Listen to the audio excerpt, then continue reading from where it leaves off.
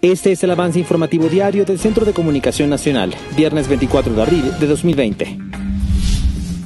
Desmienten información sobre sueldo de 5 mil dólares para diputados de la Asamblea Nacional.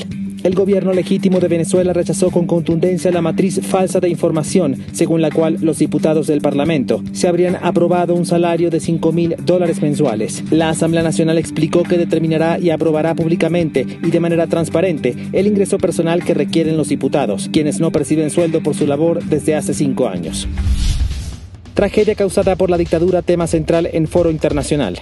El presidente encargado de Venezuela, Juan Guaidó, visibilizó una vez más ante la comunidad internacional la emergencia humanitaria compleja que atraviesa nuestro país durante su participación en el Atlantic Council. También presentó su propuesta sobre la instalación de un gobierno de emergencia nacional como solución para poner fin a la tragedia madurista.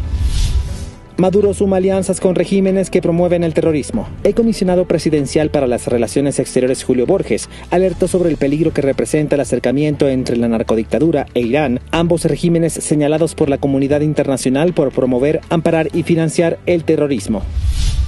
Preguntas y respuestas sobre el programa Héroes de la Salud.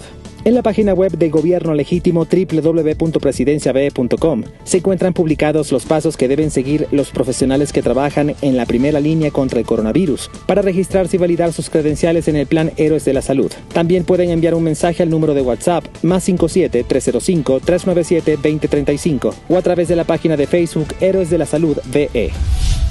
Manifestaciones por hambre en 15 estados del país. Ante la ola de protestas por la escasez de alimentos y gasolina que recorre Venezuela, el diputado de la Asamblea Nacional, Lawrence Castro, aseguró que el pueblo está intentando defenderse de una tiranía que impone el hambre para controlar a las personas.